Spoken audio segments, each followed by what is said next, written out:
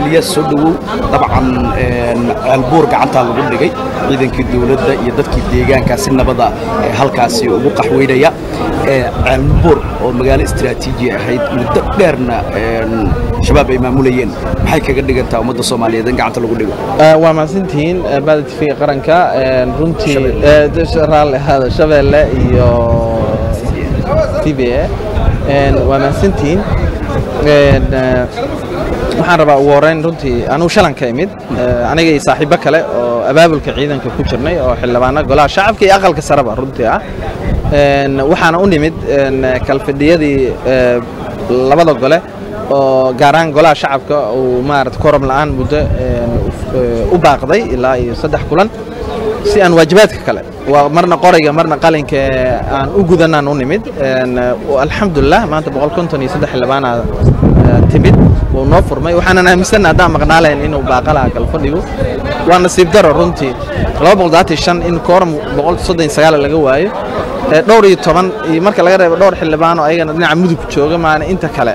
Iyo dhowr xildhibaan oo kale oo abaabul wadwaday ayaguna gobollada kale sida hiiraan iyo meelo lamida marka laga reebo kuwa badanaa iska maqan oon imaanaynin marka golaha guddoonkiisa waxaan ugu baaqaynaa inay ilaaliyaan nidaamka oo ay la xisaabtamaan xildhibaanada. Waajibaa saaran annagoo furmo ku jirnaan ka nimid si aan waajib u gudanno. Kuwa marka dibadaha iyo bannaanka iyo meelaha iska jooga waxaa ma la aqbali karo inay maqnaadaan.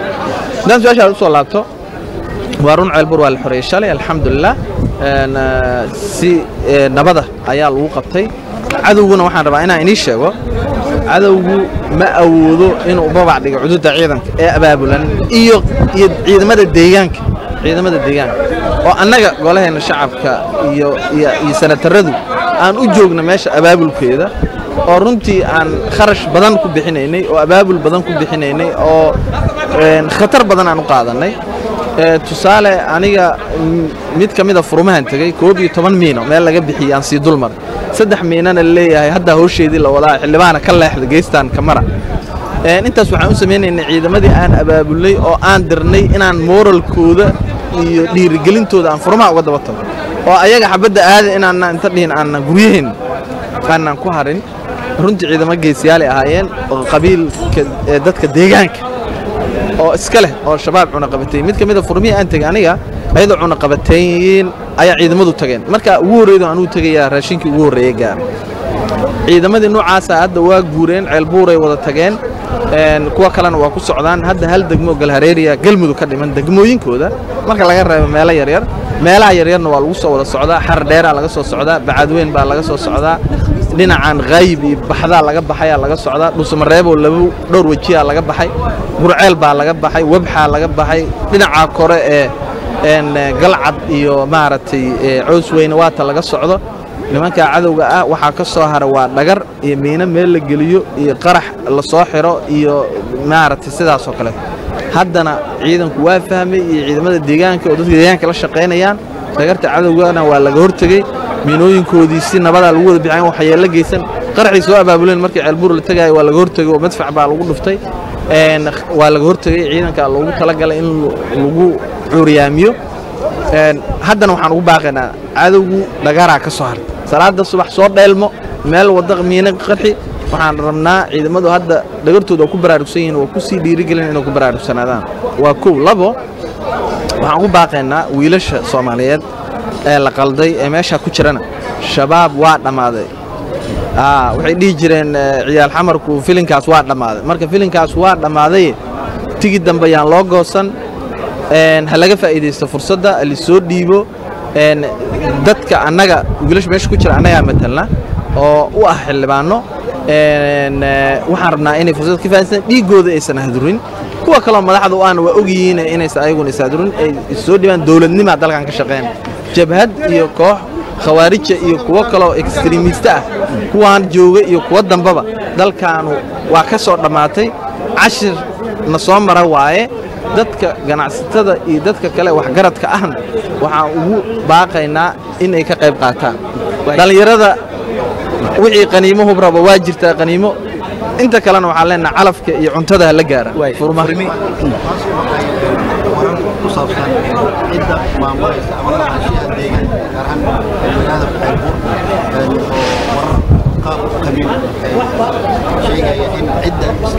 laga yaabaa in halkaasi ay dagaal maya maya maya maya. Ha- xaashaa lillah ceelbuur hadda ayadaa u baahan gargaar. Waa meel dhowr iyo toban sana maaragtay lagu habsaday.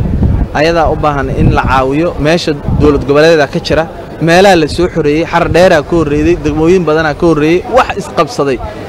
Iyo wax maaragtay eh, shiddo qabiil oo ka dhacda lama arko. Dad uuna de meelaha social media iska qaylinaana awalaan la ictibaaraynin ceelbuur isla markii la tegey waxaa loo sameeyey maamul guddoomiye guddoomiye ku-xigeen xoghayn mashaariicdii ka socota haddeertaan degmada ceel ee, ee, ceelbuurna taasay la mid noqonaya wax shiddaa oo ka jiraan dadka dega meeshaas oo deegaanka u leh na waa la yaqaanaa.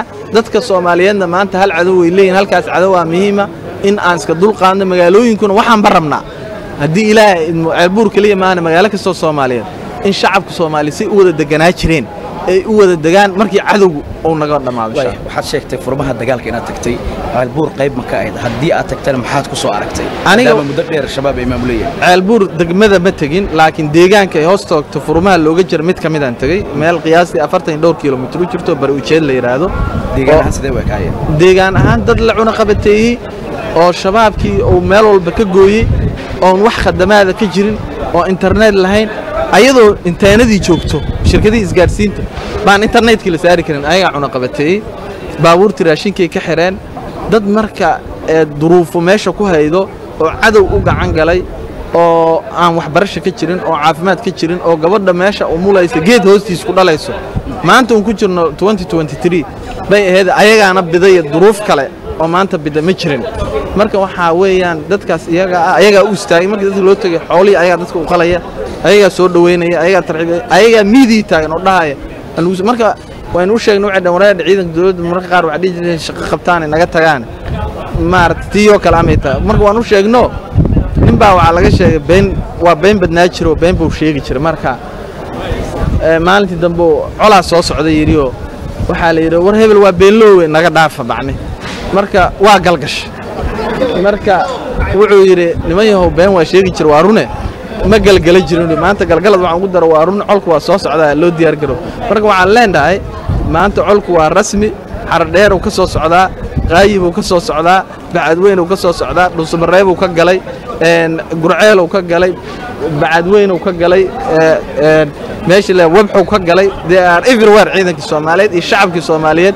Waa dhab arrintaas iyada ah shabaabna waa gabal tegey yaan lagu kadsoomin waxaan leeyahay guusha ha la qaato wadnahana ha la gufaysto. Xogta cog cosweyne iyo dagaalka ka dhacda ka socda sida waxaana sababta loo aaneeyaa ciidamada shacabkii caadi isaga dhex gala iyagoo baaritaano lagu sameeyo dadka isku soo dhiiba ayaa inta badan loo aaneeyaa. Maxay tahay iyo saraakiisha. Aada u mahadsan tahay ee, ciidamadeennu runtii kuwo cusubna waa ku jiraan kuwo deegaanka waa ku jiraan marka way iska dhici kartaa sometimes in gaabis uu jiro laakiin cadowga dhagartiisa aad ay ciidanku ugu baraarugsan yihiin. Waxaan ku sii dhiirigelina inay ku baraarugsanaadaan baaritaanno iska sameeyaan ka foojignaada cadowga waxaa ka soo haray dhagar dhagartuna dagaalka waa ku jirtaa oo alxarbu khudca ayaa lagu tilmaamay. Waa farsamo iyo taktiig marka taktiigga cadowga oo gaadmo uun keliya ah iyo qarax meel la geliya ka la sameeyo way ku baraarugsan ciidamada waxaan u baaqaynaa inay ku sii baraarugsanaan meel walbana ay iska hubiyaan insha allahu tacaala ugu dambeyn maxaa kala socotaa xogta een, cosweyne iyo dagaalka ka dhaca xildhibaane coosweyne waa run waa dhagartaan sheegayna waaye cadowga ee, anugu informationka saxda ah ciidamadaa sheegi doona officially oo xil saaran ayagaan u dhaafayna laakiin waxaa weeyaan waa cadowga dhagartiisii waxaan rajaynaynaa in laga hor tago waxa ka soo baxay khasaarihiisana ciidanka meesha joogaan u daynaynaa insha allahu taala Okay, waay.